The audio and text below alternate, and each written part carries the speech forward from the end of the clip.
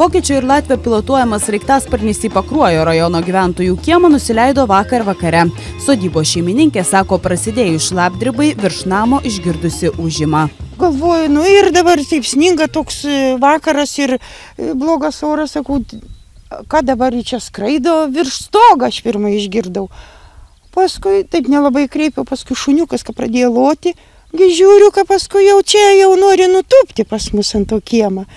Na ir aš taip stebėjau, galvoju, nu tik aš čia dabar e, jau nelabai drįsau ir laukai, tik ką, žinau, kas čia su tuo lėktuvu nutupė pas mus. Sako, lėktuvas nusileido, sako, kaip gali lėktuvas nusileisti. Sako, malūnsparnis galbūt. O, o, o, sako, malūnsparnis. Nustebot? Nu, kur nenustepsi. Aš atsikėlėjau žiūrėti. Įsidrasinusi sodybos šeimininkė prašalaičių klausė, kodėl šie nusileido jos kieme, bet lietuviškai susikalbėti nepavyko. Sako, nieko nesuprantam. Ir aš sakau, nieko nesuprantu, angliškai nesuprantu su jumis čia kalbėti. Į niekaip nesusikalbam, bet sakau, į vidų prašom eiti.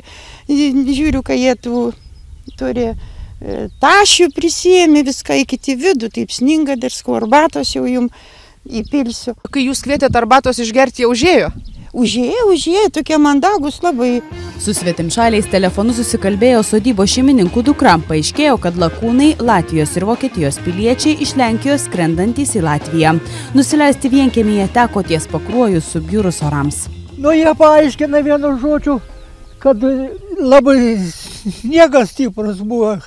Bet taip vienu žodžiu, matyti, apnešė jiem stiklą priekį, nematė kur skristi. Tik aš stebiuosi, kad jie taip tiksliai nusileido. Tas sparnas toks ilgas. Apie netikėtą nusileidimą pranešus Šiaulių oro uostui į sodybą atvyko policija. Pareigūnai patikrino vyrų dokumentus, blaivumą ir palydėjo į pakruojį. Sraigtasparnis liko sodybos kieme. Paprašė gražiai pasaugoti. Nu taip, jie, jie labai jau kaip pasaugot, sako, čia nieko, sako, nelies nei jo, nei nieko. Čia saugiai. Tai dabar ir patys turit saugot, kad nepavoktų niekas? Nu, nepavoks, ne. Kodėl taip garantuojat? Garantuoju. Saugosim, niekam čia neprileisim jau, aišku. jau ramiai galit būti. Už pagalbą netikėti svečiai paliko ir lauktuvių. Aš, aš nežinau, kas čia. Kaip tu sakei? Mėsos gaminys, nu jisai toksai džiovytas kažkoks. Kietas. Jie neįmanoma įpjauti. Nu, sakau, jeigu kas gali įpjauti.